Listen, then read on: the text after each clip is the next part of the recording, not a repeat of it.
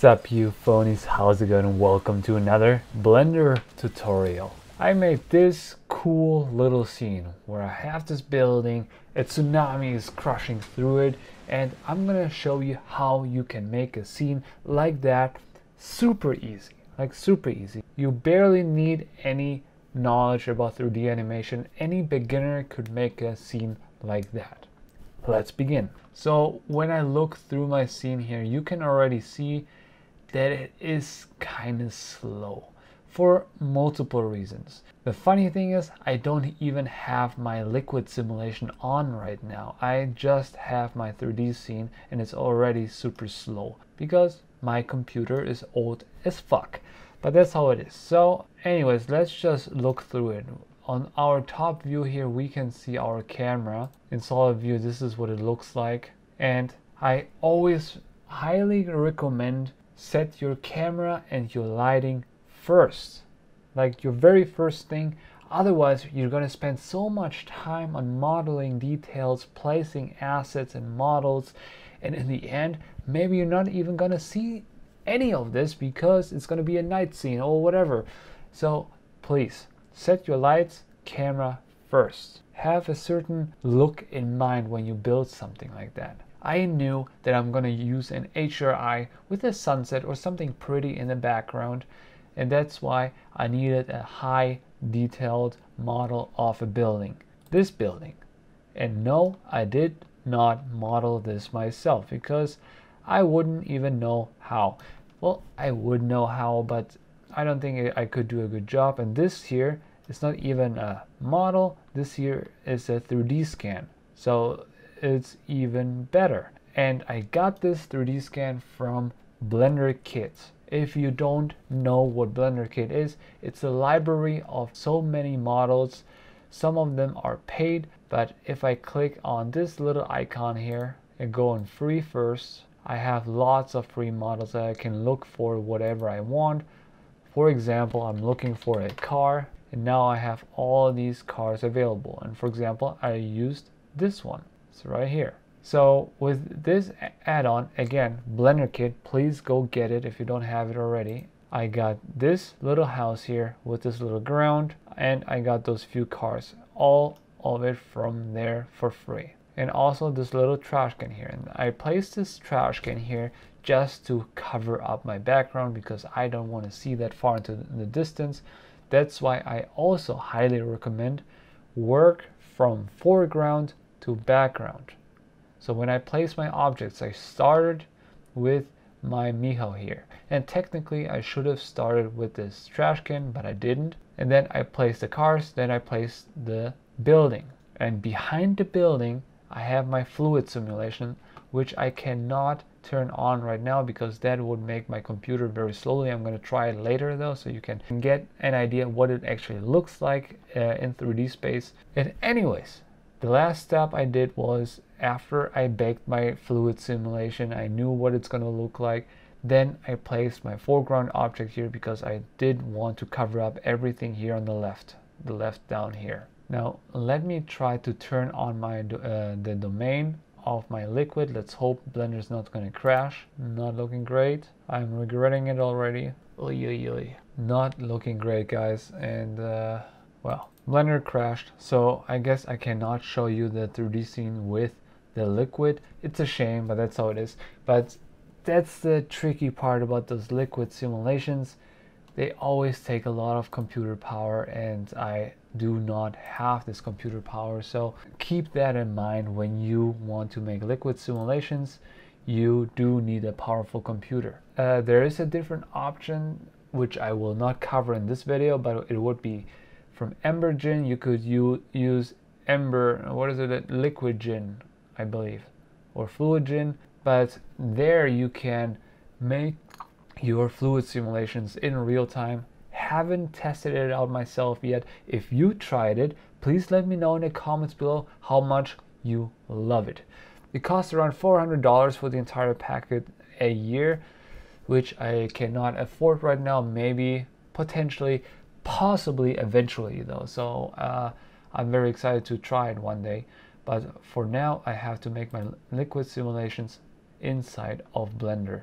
I'm going to try to turn on the domain one more time and if that doesn't work then I give up and I'm not going to show you but I will show you the rest. Okay, it doesn't look great. Okay, Blender crashed again. So I apologize for this little error here, but that just shows you how much work goes into those 3D scenes. Not just creative work, also just uh, having a lot of patience with your poor computer who's working so hard. So be kind to your computer. Anyways, we're back here. Let, let me show you what also is important for your scene if you want to build a scene like this because in order to have a fluid simulation I have a whole tutorial up here if you want to check it out but just a quick breakdown what you really need for fluid simulation. You need a fluid emitter. I have multiple ones but the one here in the back this is my main emitter. We're in the back of the building right now.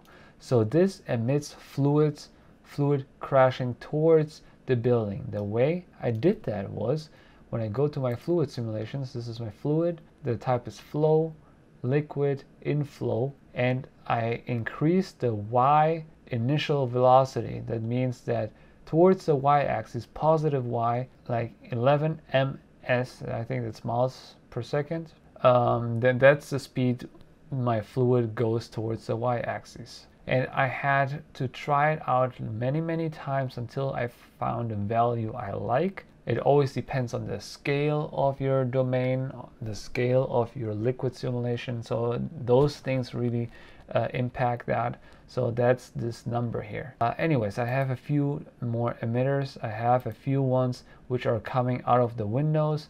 And here the initial velocity is the same direction but a little weaker because I mostly just wanted it to drip down.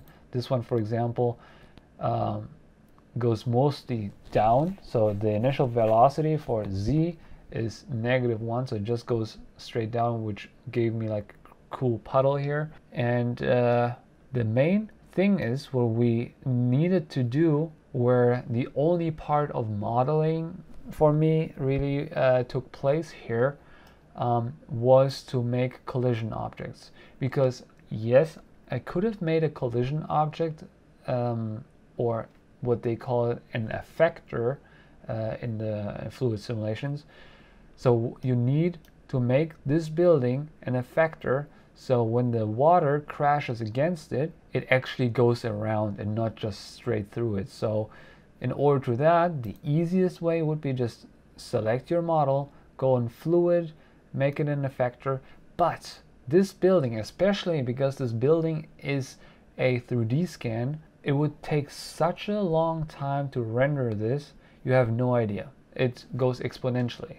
If a regular bake would take, let's say, a minute, if you bake it with this building as a fluid effector, it would probably take at least an hour. Instead of doing that, what I made was, that's why I'm saying it's a little bit of uh, modeling involved, I made collision objects here for this building let me just go to solid view because it's good enough. When we look at this, just this here is my collision object. So I basically modeled just a simple model which was a cube. On this cube I made another edge, bring, brought it out because that's what the building underneath looks like. So when I turn it back off, you see this is my actual building. On top of that, I made this cube. And here you can see it's a fluid, it's an effector, it has collision, and uh, that's exactly what I need.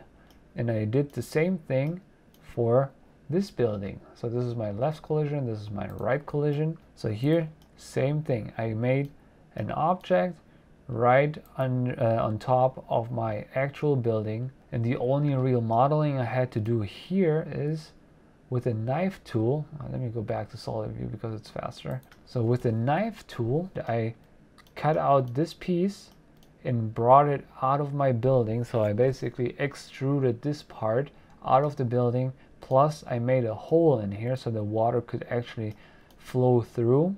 I made this hole before I made my other um, fluids here, like those fluid boxes. I thought I'm to make holes in the building first, but then I realized, hey, it's way easier to just make other inflow objects. Anyways let's go back to our building so I modeled this here a little bit. What I did was I extruded this because uh, my actual house I turn this off had this little roof here and I wanted water to come through here. Uh, you can see it in the original scene a little when you go close up that the water drops onto this roof and then on onto the ground. So it's just a little detail. Yes I could live without this detail but the more details you make the better it's gonna look so even if I build this here which I didn't it would have been better see for me it's just a cube it's straight but the actual building actually goes inside here and that's why I'm telling you set your camera and your lighting first because then you're gonna see exactly what you're actually gonna see in your scene. Like I don't see those details here in the background even. I do see this part, that's why I modeled this roof here, but the rest you're not seeing. So really pick your battles, how much effort you put into your detail because yes, you could be spending a year on this little scene, but do you want to? I don't know. I don't because I would rather make 365 projects in the next year than one crazy one because it's just more fun, you learn more, and it's also great to have stuff to post on the social medias, like my Instagram, for example. And again, I put some cars here in vehicles. Yes, I could have put more cars. I probably should have, but this entire video is just to break down how easily you can make a scene like this in a few minutes or maybe an hour. I guess this project took me an hour just to build the scene, maybe less, let's say 30 minutes, but it took a long time to get the bake ready to make sure the simulation looks proper. It still doesn't look perfect.